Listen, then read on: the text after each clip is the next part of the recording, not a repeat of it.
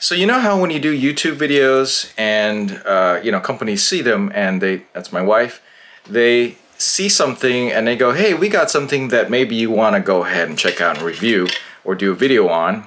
So I got this thing. Any clues what this thing is? What does it look like? A beehive? A beehive? You think this looks like a bee? Well, okay. It's it's hexagonal shape. it's white.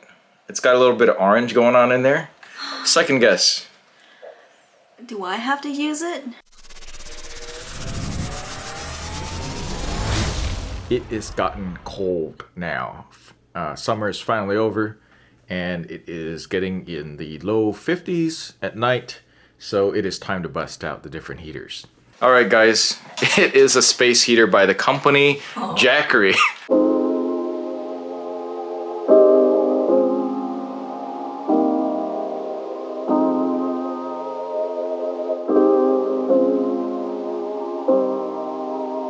I mean, a space heater. This is one of those heaters, you know how when your feet get cold during the winter? And usually it's a black, ugly thing.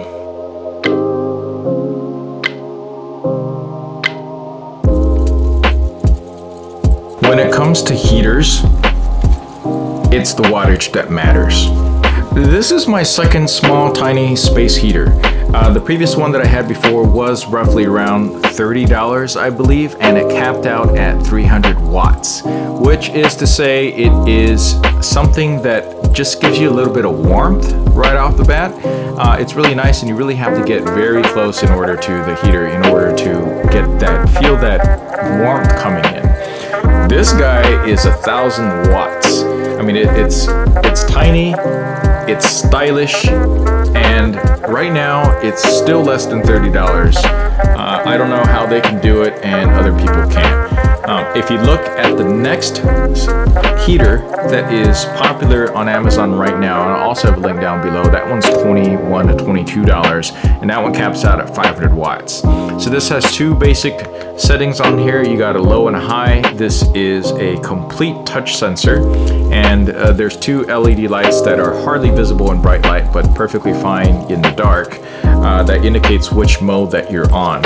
It also has a tip over protection so you knock it over and it will shut itself off. It doesn't make that annoying buzz or beep that some other heaters do. And that's really great because for something this small, if you get kind of cold feet while you're in your office because you don't have control over the HVAC system, this is really great. And at the low setting, doesn't draw too much of wattage to really mess up a lot of the electrical power outlets. Still, you should still check with IT to see if it's okay to use one of these things uh, if, or not.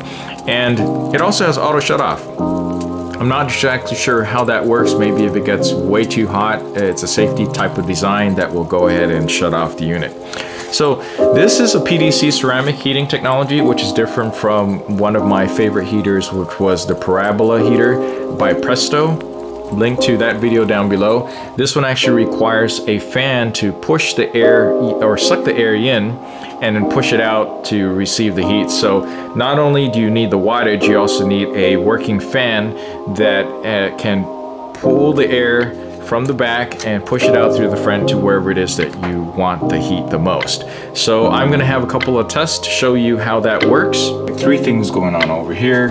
I have my wireless thermometer showing 34 degrees right now. It is humidity and I have the sleek seat thermal going on here. And this is showing at, appears to be 56 degrees, right here, Seek, 56, 56 degrees Fahrenheit.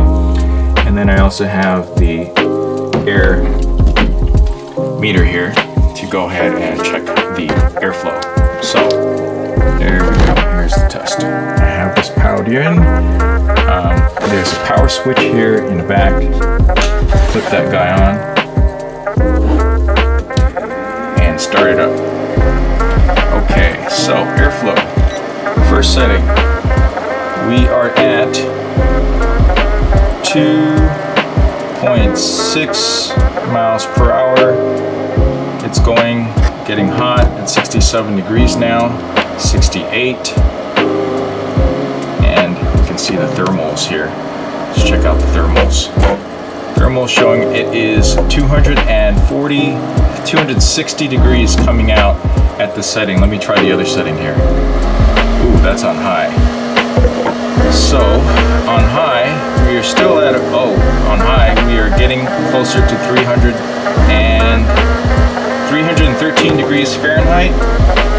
And this is getting at, on high, we're getting three, let's see, 3.5 miles per hour. There's nothing like actually feeling the fan yourself to figure out whether it works out for you. So I do suggest that if this, the, the design of this and the 1000 watt heat coming out of here and if you're okay with the fan noise there's nothing like actually trying this out yourself so if you are interested in trying it out uh, right now especially during the holidays you can actually purchase this and use it all throughout November whatever's left of November December and through parts of January before you actually have to return it if you find out that this isn't going to work out for well for you. But I can tell you this is easily uh, the smallest and uh, in terms of efficiency at a thousand watts being able to produce that heat that comes out it comes out at um, 285 degrees uh, Fahrenheit when using the thermal sensor from here. And if you are sitting within two feet of this since this is a personal space heater even though it's a thousand watts it's not really designed to heat up the whole room. I suppose eventually it could. Um, this makes for the most stylish most powerful space heater in its price range in its class right now. So the people behind this really know what they're doing. And even though you've probably never heard of the name brand Ahsado before, uh, the truth is that it's actually designed and sold or sold by the people at Jackery who are very famous for their battery products. So there's no batteries, of course, in here at all. That would make sense for a heater of this type. So I, am going to give this a recommend as long as you can handle this the sound of the fan. This is not a silent unit. Um, I know having this in front of me uh, in a quiet office environment uh, is it sounds like white noise. If you're okay with white noise, you know, that's going to work well for you. I'm not okay with it because I like it really quiet since I'm recording a lot of things all the time, whether it's my videos or my podcasts or um, you're going to need some sort of noise cancellation thing if you're in meetings a lot uh, because it, it's you, you can hear the fan. All right, so I recommend it for its size, its efficiency, and its design.